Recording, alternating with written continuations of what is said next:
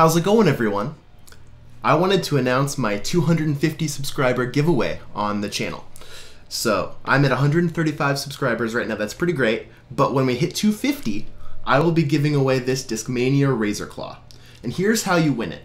So one, subscribe to this channel. That's the easy part.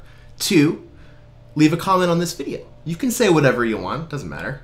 When I hit 250 subscribers, I'm gonna come back to this video, assign numbers to all the comments, and pick one at random.